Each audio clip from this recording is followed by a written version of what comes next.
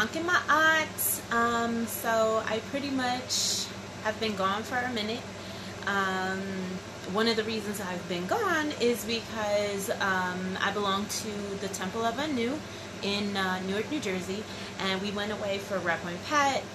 And uh, Wep RenPet is the Kemetic opening of the year or the new year.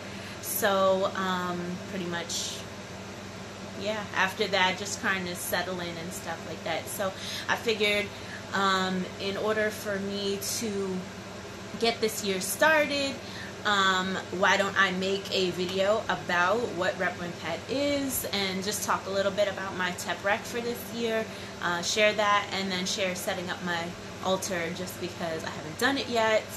I'm like two weeks and a couple days late, but I'm finally doing it. So, um, just to start out, like I said, uh, one Pet is the opening of the year. And um, like I had last time, I have like a little handy dandy uh, PowerPoint because I'm a teacher and I just can't stop that in me. so, um, anyway, so essentially what Wep RenPet is, um, the ancient Kemetic people would uh, see the Spadet star. Um, we call that uh, Sirius.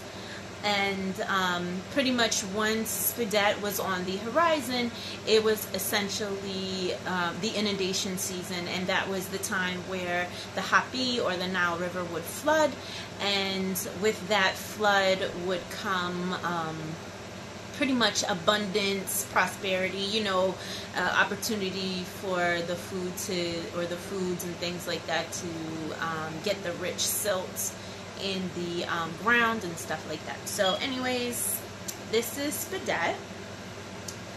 So if you've never seen her before, that's her. And that's the actual star. And um, in addition to this, we celebrate the birth of the Nesharu.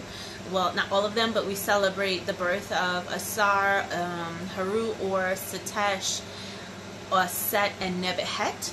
So, if you don't know, that is them right there.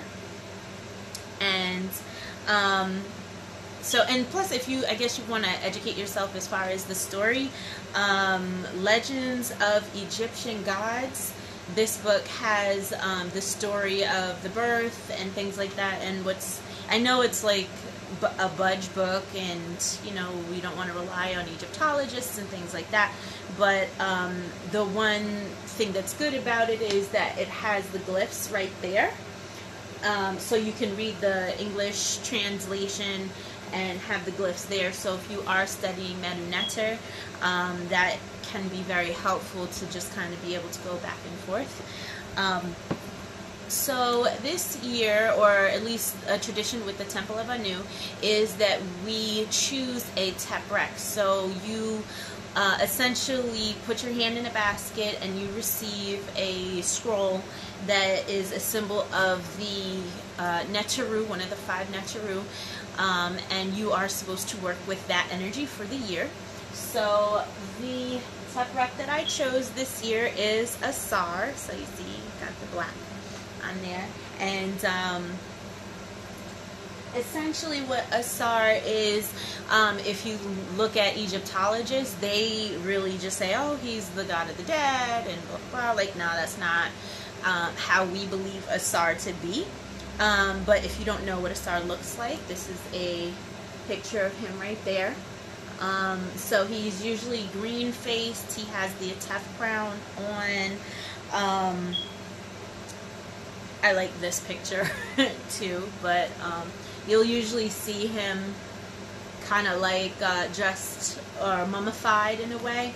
So um, just to read this particular uh, picture just because I like it. It says, This is Asar, your true self, your true entire, only and ultimate purpose for being on earth is the resurrection of this indwelling intelligence.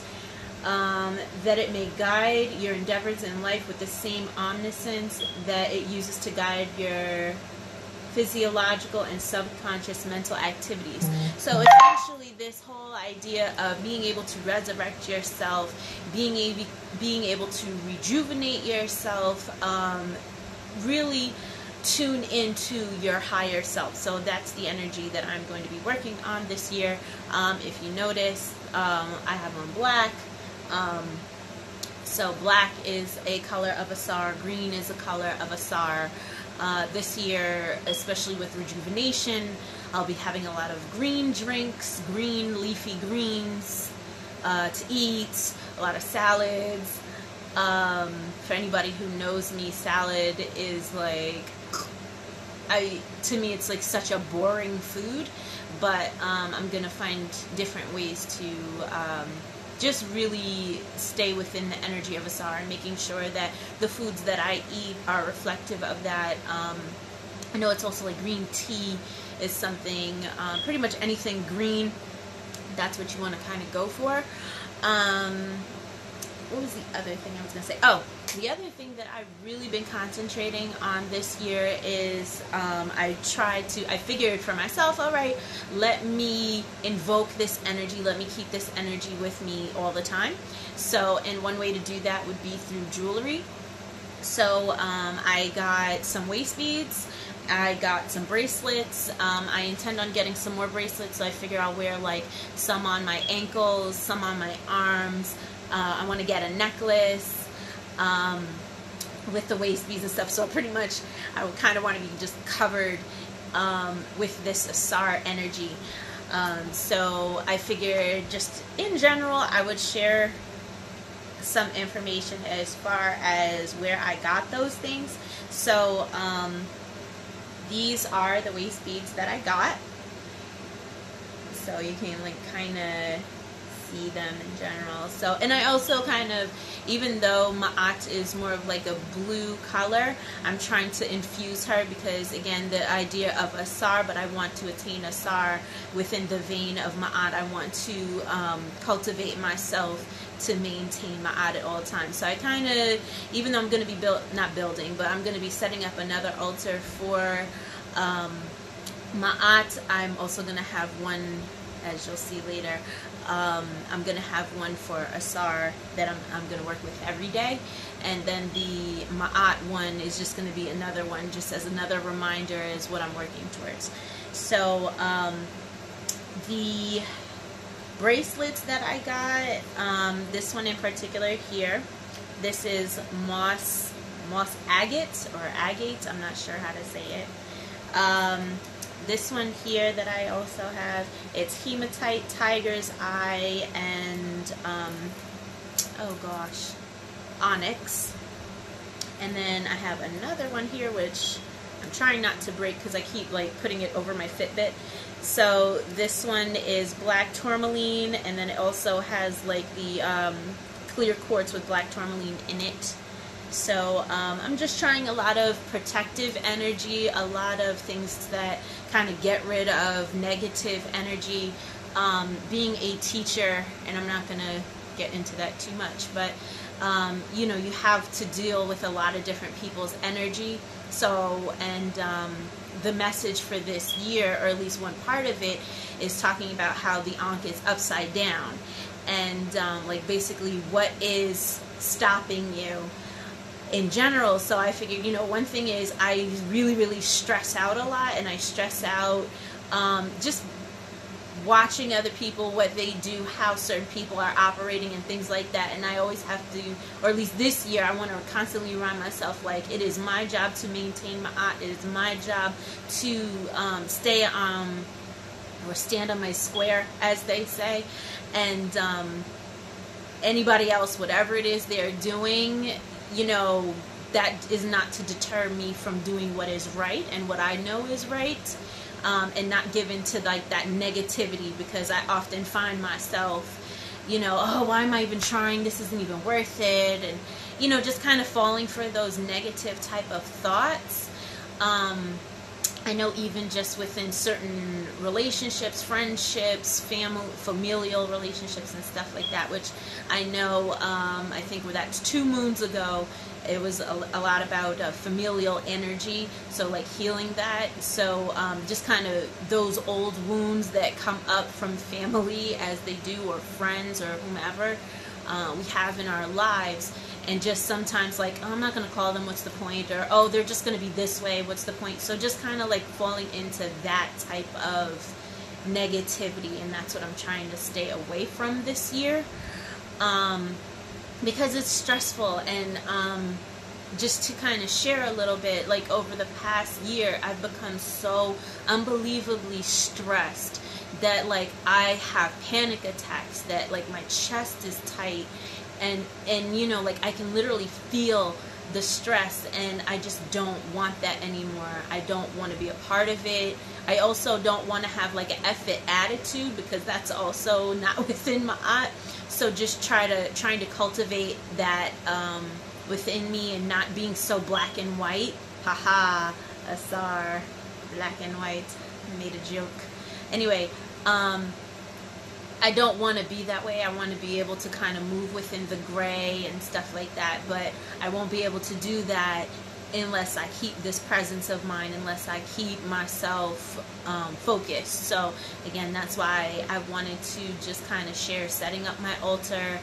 Um, oh, there's uh, something else that I did. I've been like buying a whole bunch of stuff to try to get ready for this, so I figured I would share that.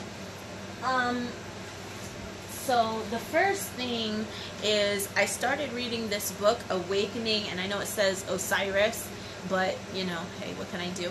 Um, so a coworker gave this to me. I want to say maybe a year ago, a year and a half ago, and I'm like, oh, I'm gonna read it. I'm gonna read it. I'm gonna read it. And he's giving me a couple of books, and I'm like, oh, I'm gonna read it. I'm gonna read it. I'm gonna read it. And then what had happened was I get so bogged down with everyday life that I just didn't get to it. So I'm just like, you know what? I went through. I have like all these books on my bookshelf, and let me finally do this. So I started reading this book, and it says it's um, the book of coming forth by day. Um, the when I read this particular book, I I like the way the the guy translated it. Um, it makes it very relatable, a very contemporary language. Um, I know that's not necessarily popular with a lot of people. People want um, very stick with the original language, which I can appreciate that. But as far as just understanding, to me, I find that the first step for understanding is just have the contemporary language, have it there so I can understand it, think about it, pray on it, meditate on it, and then I can move to the original language and just kind of tweak and um, I guess get an even deeper understanding and connection. So um, I definitely recommend this book. There's one chapter in particular that I really like. I mean, I'm only on page 65 right now, but um, and I like writing in my books. But like chapter four, um, it's called the speeches. I really, really like that. Um, it really speaks to me. So, like, just for example, it says, May my heart witness what my hands create, the words I utter, the word, the worlds I think. Um, and I think that's I underline that particularly because I just think of to myself like, all right, when I'm in those negative spaces, what are like mantras or what are things that I could constantly just put in my mind to kind of dispel the negativity that's going on around me. Um, and I, that to me, like that particular verse, has a lot to do with talking about um, my inner divinity and what I can cultivate and make in my own life and not necessarily have to be at the whim of other people. Um, being in control, and when I say in control, I mean like in divine control. Um, there's another part I like. It's very long, so I'm not to read the whole thing. Um, there, this one I really liked also. I'm sorry.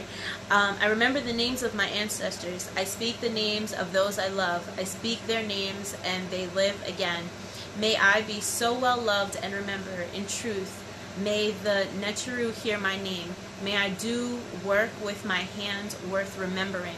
So I really like that verse in particular, and I made like a little kind of note for myself that um, I want to kind of incorporate that within my libations so that um, I don't know. I just really like the wording and not to be lazy, but why reinvent the wheel? So, um, like I said, I really enjoyed this book in particular. Again, it's Awakening Osiris please pardon the Egyptology, but I really like that one. So if you would like to work with Asar, definitely recommend that one. Um, another book which I saw uh, someone else at our Rep One Pets retreat, and gentleman was reading, and this is a really I didn't realize it was this big until I got it in the mail. But this one is calling Remembering Osir. Uh, so that's it. It is, like I said, it is quite a thick book, but I just got it today, and um, he, there are like a lot of different prayers. There are a lot of different. There's a lot of information in there. So I guess I'll have to report back later on as far as what I get out of it, or um, just in general with my Asar work. Um, but I guess just to kind of talk about the table of contents, uh, it talks about the. Uh, it says he uses um, Osiris, but Osarian tradition, like the way he pronounces it, but it's spelled like the Egyptologist. So, mm. but Kemetic spirituality, who and what is Neter, uh, Ma'at family, working with Medu Neter, Aset and Haru, uh, man's spiritual journey, Satesh, Heka, um, putting up a shrine. So, like a lot of those themes, I thought looked good when I uh, looked through the table of contents. So we will see. We will see um, how helpful this book is. Um, so yeah. So as far as an altar, um, I know there are all different types of ways of setting up altars, um, different purposes and things like that. So. Um, uh, essentially I just figured I would set it up and if people had questions, but at least it's out there for people to see uh, how I do it and maybe that'll help people in their spiritual work and practice. So, um, yeah, here we go.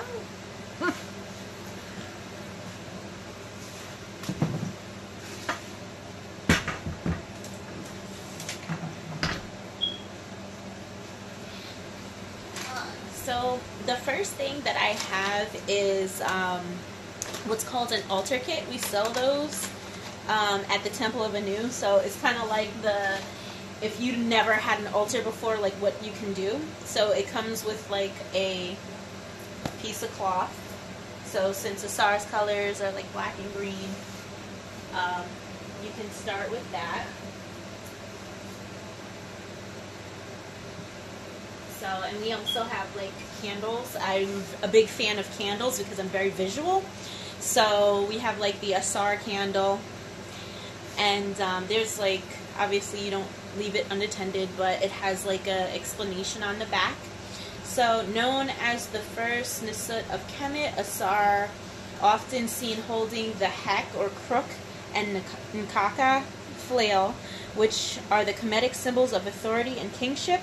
Asar represents the potential that each of us possesses for spiritual rejuvenation through the command of righteous thoughts, words, and deeds. Asar reminds each of us to aspire to self mastery, especially in those situations when it seems an impossible task because this is where our greatest strength lies. He must first hold supreme authority over, I'm sorry, we must first hold supreme authority over ourselves if we wish to achieve success, abundance, and prosperity.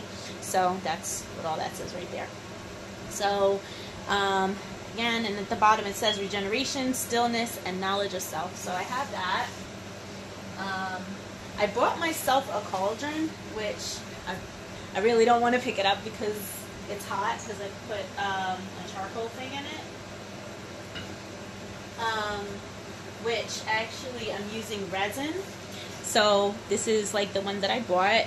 Um, it's for health and healing. So I figured that was within the lines of um, Asar. So I'll put a little bit. Um, another thing that comes in the um, altar kit from Temple is they give, they do give you incense. So this one they give you Egyptian musk uh, original. This is by Mohan. I'm not sure if I'm saying that right. Um, so I just figured I, I didn't I didn't want to use it right now. just because the um, incense holder that I have, I, I don't care for it really. Um, I need to get a new one. So you get some oil to wear that is pretty much uh, charged and blessed, and each Neteru comes with like a different scent.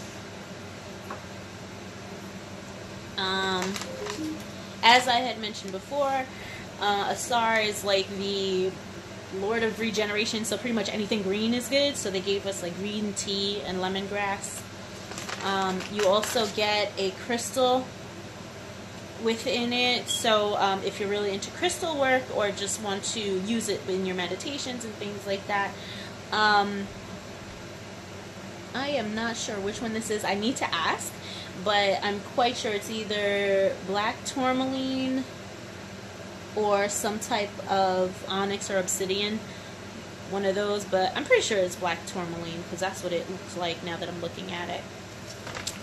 Um, so, besides the other candle, again, very visual, but they have like the um, the scented candles, so I like to have these around my house, um, just smelling good. Um, so again, dun, da, da, da, moment of truth. I went and I got an Asar statue, and um, pretty much every Wep RenPet, um, I have, or at least for the past couple years, I keep getting new Neteru, and uh, this is my first time getting Asar, so um, I had to go out and buy an Asar statue. So, oh no! I totally need to like get a scissor. But anyway, sorry, I'm like unwrapping it off camera. Okay, there's some of it.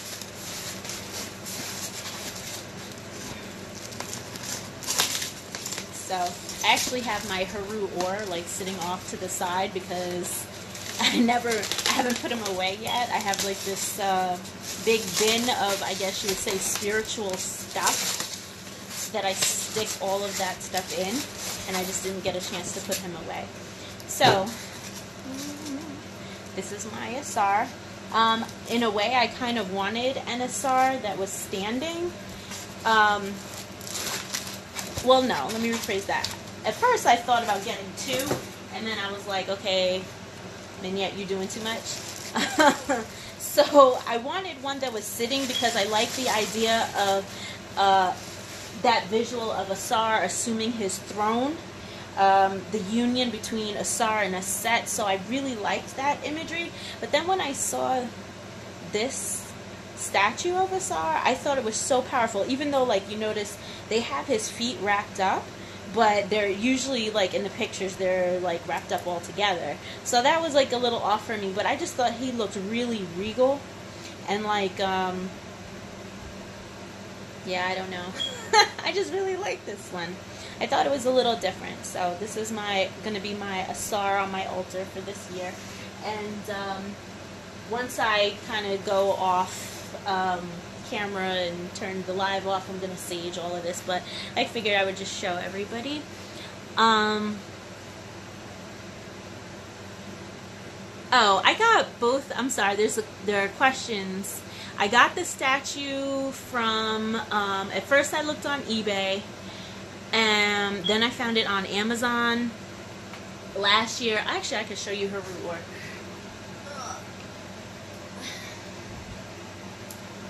So, this was Haru Ur from last year. Um, like I said, I need to put him away back in his box and stuff like that. But that's my Haru Ur from last year. Um, so yeah, both of them came from Amazon. Um, I know there are different black-owned shops. Um, I just haven't been able to find one that's close and close, essentially. All the ones that I know of are kind of further away. So, um, but yeah, both of them came from uh, Amazon. So I know when we're setting up an altar, you want to have the different elements. So I obviously already have fire, but just when I first learned about setting up altars, I um, I always always was big on like the white candles, so purity and things like that. So um, I used to have tall white pillar candles, but um, let me move a little closer. Um, ooh, okay. Um, I totally forgot what I was going to say. Um, oh, I used to have tall pillar candles, but I noticed because my altar is right next to the window and the sun beats on them, that they the wax starts separating from the glass. So I this year I'm to try tea lights and we'll see what happens. Um, so I have uh, two feathers for or ostrich feathers. Um, like I said before, I'm to set up a Ma'at altar. So I'm only to use one for Asar. Um, in my mind, and I obviously, if you set your altar up, don't put the feather next to the fire, but this is just for all intensive purposes. Um, right there. I'm going to stick it. Um, so I like to put the Ma'at feather on my altar again, just as a constant reminder of what it is I'm working towards, and again what the Asar energy is working towards. Um, so, earth, if you notice, I have my um, aloe plant back here. I stink at keeping flowers alive and plants in general, so I stick to cactus and succulents and things like that just because for some reason I'm good at keeping those alive, so I'm not that bad. So um, my earth is back there fire, fire. Um, so I have different bowls. So I have this clear bowl. I like to use this as my offering. Um, so last year when I had Haru Ur, I would cut a piece of ginger and I would put it in the clear uh, bowl just as my offering. And then, you know, once it kind of starts uh, shriveling and stuff like that, you know, I'll either put it into a smoothie in the morning or um, you know, and just put a new piece in there. Um, I have these three white bowls. So one would be for water, one would be for Hesmen, or um, what do you call that? Baking soda, not baking powder. And then the third one is you mix both of them. So that's like your air. Um, because when they mix, um, you know, bubbles up and stuff like that. So Hesmen water and then a mix of both. Um, oh, so if you, again, are into crystals and things like that, you could put your crystal um, on your altar. So I have, like I said, the one from the altar kit. I have a couple of quartz crystals that I would also put in that. The idea is uh, I use the pointed ones and I try to make like a triangle. So the idea is I want to take that energy and as I'm sitting in front of my altar, I have, it's like pointing that energy towards me. So, uh, yeah. Uh, I like to put my actual Teprek roll on my altar just um, to keep it charged, to keep it within the energy. Um,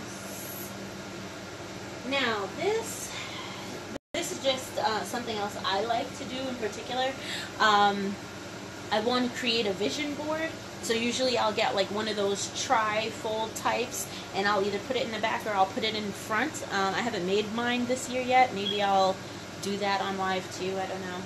Um, but I like to again have that visual of what am I working towards? What is it that I'm coming to Asar in? What is it that I'm giving to Asar over this year?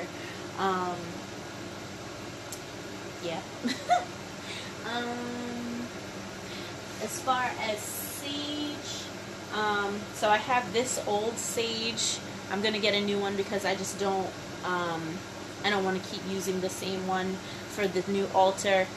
Um, so that's why it's off to the side. I'm not going to put it up there. But usually, like, I have a little gold holder and I'll, like, stick it over here. Um, and let that burn as I'm burning the other incenses. So I'm purifying as well as invoking simultaneously. Um, oh, this is this is the last thing that I have. I have my singing bowl. So I like I usually leave this off to the side. Just in general, I do like to do uh, some meditations and things like that. Um, I find that working with um, when I am doing meditation, I like doing bells, chimes, singing bowls. It's something about the vibration that kind of also works for me. So, just as a suggestion, um, yeah, just one of those things to try. Everybody's different.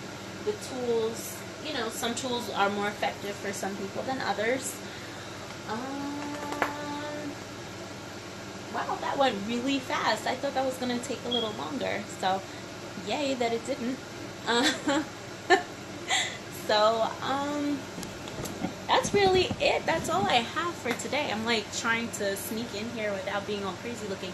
Um, so I figured next week I'll be working with the book. I figured, um, not for nothing, I really like the idea of the Raspy Rolls uh, Read Aloud Challenge. So, um, and that's something that we've kind of been doing here at home. So I figure maybe next week I'll get, I'll either read some of the Awakening Asar or the other book, whichever one is kind of better, and then maybe we can share and learn together. So, alright, that's all I got. Shami and Hatat.